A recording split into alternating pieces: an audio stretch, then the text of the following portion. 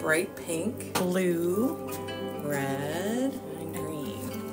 I'm gonna try this deep purple because it looks like it could possibly work. So I'm gonna take my bottle here, mix this up a bit more, dipping it in this bottle in here.